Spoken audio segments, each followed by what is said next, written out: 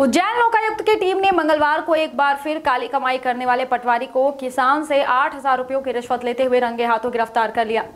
घटिया तहसील की ज़मीन की सीमांकन के लिए पटवारी ने रिश्वत की मांग की थी। इस पर आवेदक ने लोकायुक्त को इस बात की जानकारी दे दी।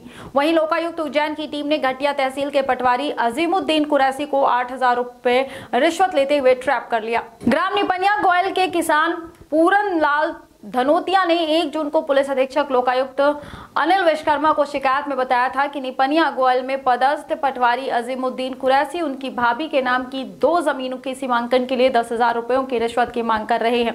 इस पर लोकायुक्त ने ट्रैप प्लान करते हुए प्रारंभिक जानकारी लेते हुए आरोपी की आवाज़ रिकॉर्ड करवाई। वहीं पुख्ता सबूत हाथ लगने पर मंगलवार को रिश्वत लेते हुए गिरफ़्तार कर लिया गया। है निपानिया गोयल में हाँ। तो कम मिले थे आप इनसे? दस हज़ार की मांग करी थी दो नंबर थे तो बोले पाँच पाँच हज़ार रुपये लगेंगे दोनों नंबर के। हम्म। तो के साथ थोड़ा बहुत कम कर लो। हम्म। तो बोले कि चलो आठ आठ हज़ार कर देना ये पटवारी साहब ने बोला। अभी कितने पैसे दिए तो कुछ? अभी दिए आठ हज़ार।